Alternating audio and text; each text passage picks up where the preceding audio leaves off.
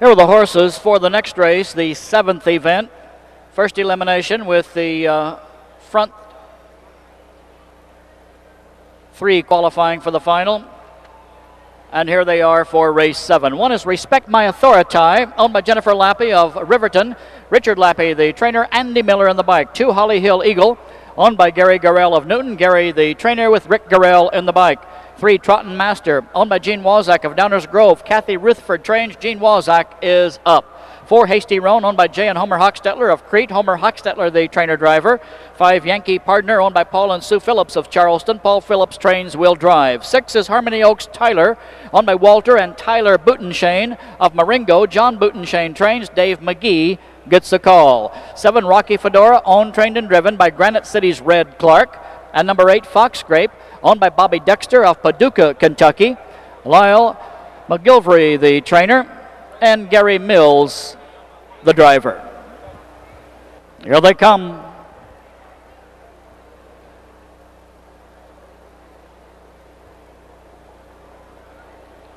They're often trotting on the outside. Hasty Roan for the lead. Outside him, out fast as Harmony Oaks Tyler.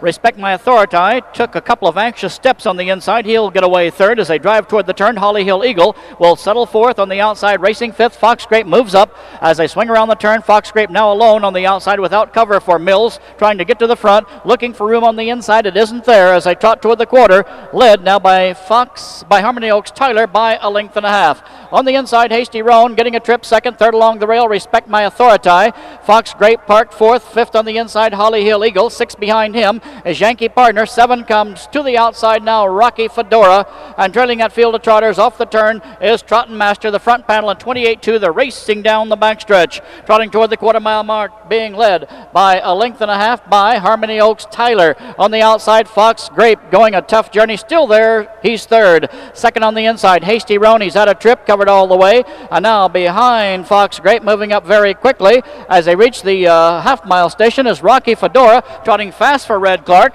They pass that mark in 59 seconds. They're in the upper turn and Rocky Fedora three wide move sweeping toward the front. Rocky Fedora three deep. Fox Grape between trotters on the inside. The leader Harmony Oaks Tyler. Fourth, no place to go. Hasty Roan. Five on the outside following cover is Trotton Master. Six on the inside. Respect my authority. He'll need room. Seven on the outside as they trot toward the uh, three quarter is Yankee Partner. And on the inside, trailing is Holly Hill Eagle. He found himself last at the three quarter, four in, four out. And at 130 and three, that mark, they turn for home. On the outside, Rocky Fedora has made the lead by a neck. On the inside, Harmony Oaks Tyler is second. Fox Grape on the outside, tiring between trotters. Respect my authority. Fuller trot, here he comes. Hasty Roan out ahead of him. They almost collide as they trot to the wire.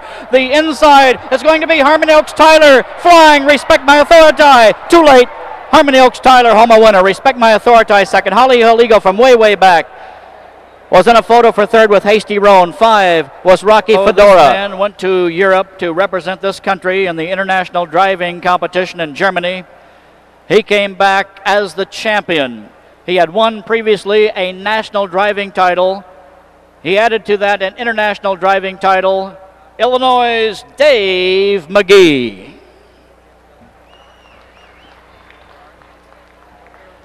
And now with trainer John Butenschoen, here's Dave Magee. And he has guided Harmony Oaks Tyler to that win. This trotter owned by Walter and Tyler Butenschoen of Marengo. Bred by Walter Butenschoen, a three-year-old in the winner circle right now by Raz's man, campaigning in the same stable a number of years ago from the Speedy Crown Mother Flores Lady. So trainer John Butenschoen, who has the star of his stable yet to go, off to a good in just a moment as soon as the truck passes to Kurt Becker. Kurt?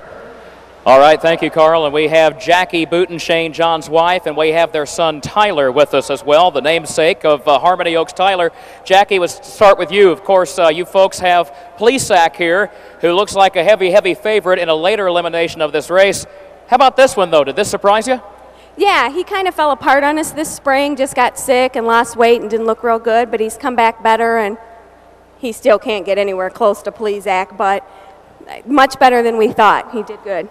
Tell you what, holding anybody to the Plesac standard is pretty lofty. Tyler, how old are you? Ten. Now, I know your mom and dad have been real busy, but have they uh, taken time to take you around the fair yet? No. Oh, my. Are we going to do that, Jackie? Yes, we will. Okay, we'll let you get back to race. Plesac, congratulations. Jackie and Tyler Butenschoen back up to Carl.